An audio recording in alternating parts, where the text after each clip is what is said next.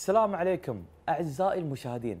تدرون أن يتم استخدام تقنية متطورة لتنفيذ أعمال الصيانة الاستباقية من خلال جهاز رادار ثلاثي الأبعاد.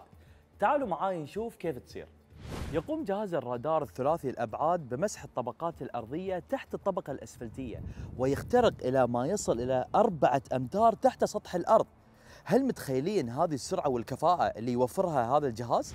وعشان نتعرف أكثر على جهاز الرادار ثلاثي الأبعاد التقينا بالمهندس ماجد آل سعد مهندس ماجد لو تكلمنا أكثر عن هذا الجهاز جهاز الرادار ثلاثي الأبعاد مرتبط بنفس ما تشوف بشاحنة تمشي على سرعة 20 كم في الساعة.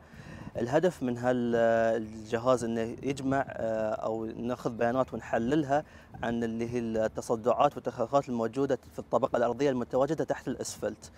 فطريقة عمل هالجهاز إن إحنا نرسل موجات صوتية للطبقات الأرضية هذه ونجمع انعكاسات هالموجات ونقدر منها نحلل ونرسم آه، صورة واضحة أو خريطة واضحة حق الطبقات الطبقات الأرضية الموجودة منها وبهال وبهالصورة نقدر نشوف التصدعات والتخلخلات ومنها نقدر نحل مش آه، آه، مشكلة التصدعات هذه قبل إنها تطلع على اللي هو سطح الشارع.